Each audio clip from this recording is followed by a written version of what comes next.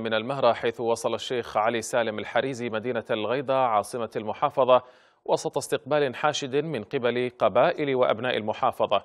وأدان الأمين العام لمجلس الإنقاذ بالمهرة مسلم رعفيت الحملة الإعلامية التي تشنها السعودية بحق الشيخ الحريزي مشيرا أن مثل هذه الحملات تزيد من حب وتمسك أبناء المهرة بالشيخ الحريزي المدافع عن المهرة وأبنائها ضد الأطماع السعودية في المحافظة.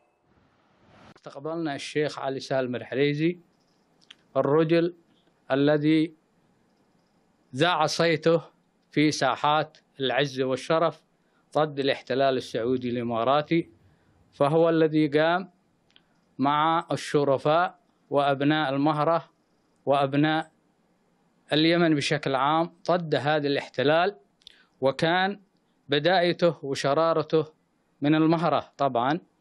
بقيادة الشيخ علي سالم الحريزي.